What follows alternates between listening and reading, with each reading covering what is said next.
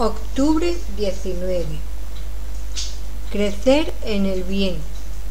Esto, pues, digo y requiero en el Señor, que ya no andéis como los otros gentiles, que andan en la vanidad de su mente, teniendo el entendimiento entenebrecido, ajenos de la vida de Dios por la ignorancia que en ellos hay por la dureza de su corazón. Efesios 4, 17 al 18. Lectura adicional recomendada. 1 Corintios 6. Aprendamos a caminar en el temor de Dios, advirtiendo lo que Pablo establece aquí acerca de la comisión de todo mal. Lo dice para mostrarnos el salario que Dios pagará a su debido tiempo a quienes no se sometan a él. Temblemos ante tales amenazas, con el temor de que Dios nos las aplique cuando seamos incapaces de soportar la represión por nuestros vicios. Hagamos acopio de valor para seguir adelante y afligirnos por ellos. Cuando alberguemos vicios, avergoncémonos interiormente de tal forma que nos humillemos y nos condenemos a nosotros mismos hasta que Dios, en su misericordia, nos haya liberado de ellos. Debemos poner en práctica esta enseñanza de Pablo para que, una vez que Dios nos haya unido a Él por medio de nuestro Señor Jesucristo y nos haya dado vida. Podamos asegurarnos de que esa nueva vida no quede eclipsada o silenciada por causa de nuestra malicia e ingratitud.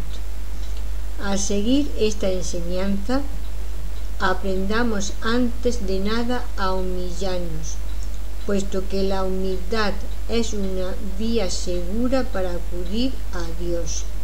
En segundo lugar, Además de humildes debemos ser cuidadosos, de tal manera que no caigamos en una indiferencia propicia para el autoengaño, porque a través de ese mismo cuidado debemos esforzarnos cuanto podamos en luchar contra nuestros vicios y pasiones, esperando a que el Señor nos libere por completo de ellos. Mientras tanto, ocupémonos en obtener pequeñas victorias, por niñas que éstas sean, de manera que quede constantemente de manifiesto que nuestro Señor Jesucristo está obrando en nosotros y haciendo que su gracia prevalezca al ocasionar un perenne crecimiento en el bien Amemos tanto el bien que crezcamos cada vez más en él, hasta que Dios nos tome de este mundo. Meditación. Qué importante es para los creyentes poner en práctica la idea de ser un cristiano vital. Muchos se quedan en las palabras sin obras que las, que las secunden, olvidando que, tal como se dice, Obras son amores y no buenas razones. Te esfuerzas a diario en oración para ser la sal de la tierra y la luz en la noche por medio de una coherencia entre tus palabras y tus actos en la glorificación de Dios? Octubre 19 al pedirte que mueras diariamente, el Evangelio te invita a vivir eternamente contrario a la opinión pública. La muerte realmente es el portal a la vida. Es una de las principales paradojas de la gracia. Desde la distancia parece no tener sentido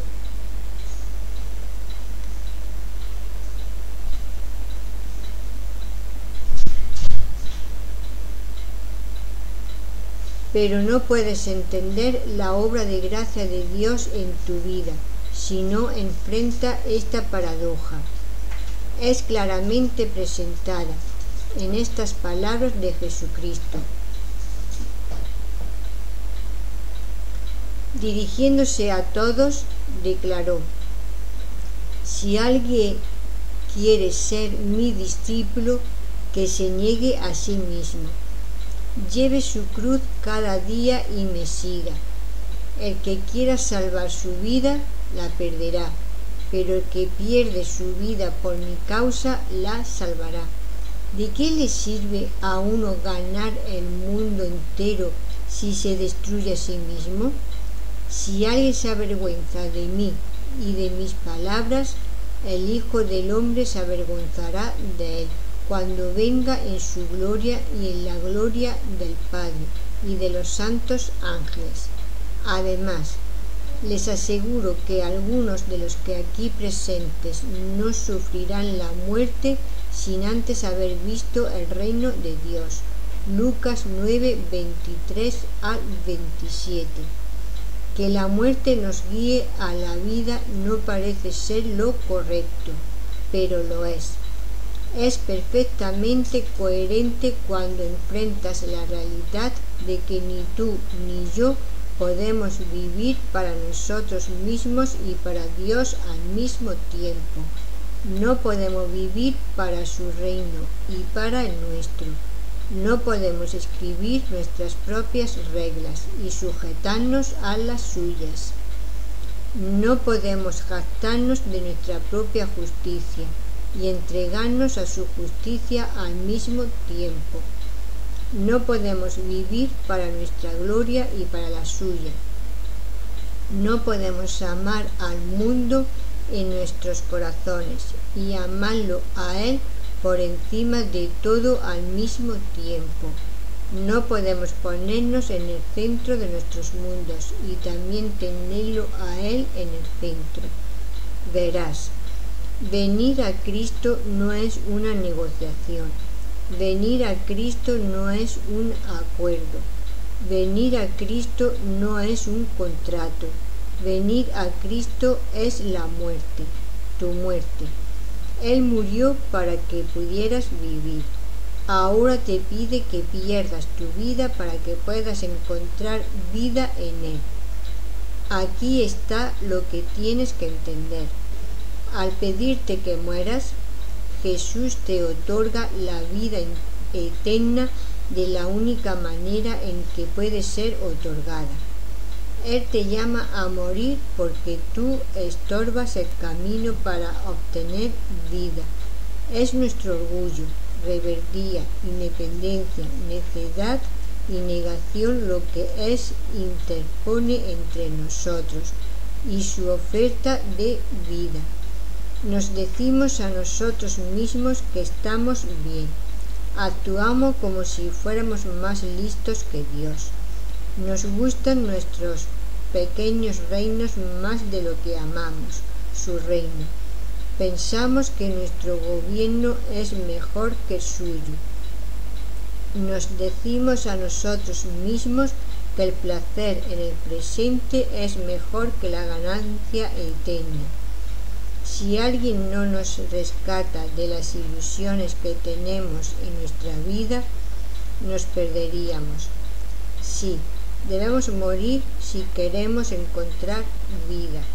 Así es que la gracia tiene el propósito de matarnos. Pero al presidir en nuestras muertes, la gracia nos da vida real, abundante y eterna. No luches por defender la muerte de tu, de tu vieja vida. En lugar de ello, celebra la vida nueva que es tuya por medio de la gracia. Y recuerda que tu Salvador continuará llamándote a morir. Esa es la manera de obtener vida. Para profundizar y ser alentado, Juan 12, 23 al 26.